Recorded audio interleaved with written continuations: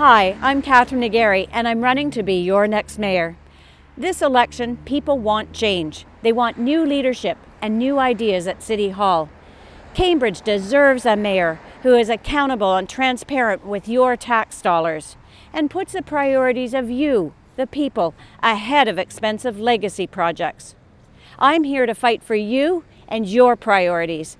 On October 22nd, vote McGarry for mayor.